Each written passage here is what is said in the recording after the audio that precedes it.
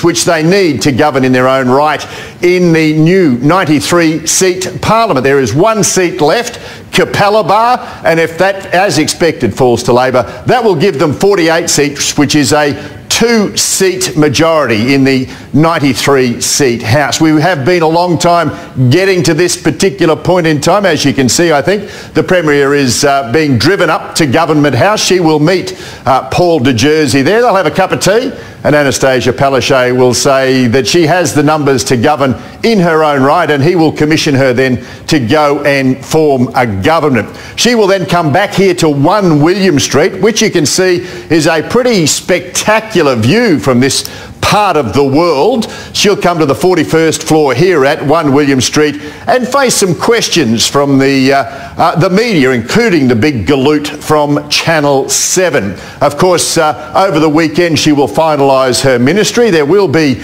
a caucus, a Labor caucus meeting of all 47 expected to be 48 MPs on Monday at Parliament House and then the swearing in process will happen after that. Of course, Tim Nicholls, who started today's proceedings in motion by uh, at 10 o'clock uh, conceding to Annastacia Palaszczuk. He's decided not to recontest the leadership. They will also, the LNP will have a leadership fight on its hands on Tuesday afternoon. Deb Frecklington, Deputy Deb to uh, Tim Nicholls, She's put a hand up to lead the party on a ticket with Tim Mander, the former NRL referee. They've uh, a joint ticket together to be leader and deputy leader of the LNP. Uh, of course, uh, a short time ago, in the last 10 minutes or so, John Paul Langbroek, the former leader, he was uh, deposed in 2011 in favour of a Campbell Newman uh, run at the uh, leadership, which of course we all know only lasted one term before Annastacia Palaszczuk turfed him and the LNP government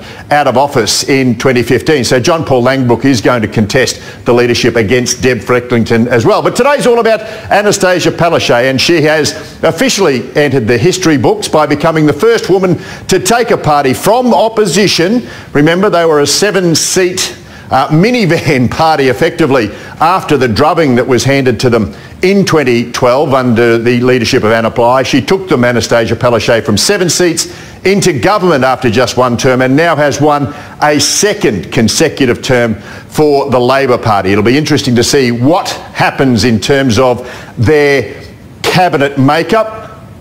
She's about to enter the gate, so uh, the lower gates there of Government House will open. Uh, she'll drive up that little driveway to the uh, portico area under the uh, she is now through the gates at uh, Government House. She'll drive up that little hill to the portico area and uh, either the governor, I'm not sure, I can't see if the governor is there or one of his aides will meet the Premier elect and take her up the steps of Government House. Well, they'll sit down and have a, a nice cup of tea not sure. Is it Earl Grey? Do we know what sort of tea the Premier... Looking at the Premier's offsiders. No, no one knows what sort of tea the Premier will have. Perhaps a, uh, an Arnott's assorted cream to go with it as well. Uh, the swearing-in process for the... The Governor's aide is uh, greeting her uh, under that portico now and then, as I say, they will go into Government House for the formalities and then she will come out uh, and drive back down to the city to 1 William Street uh, where she'll host a media conference.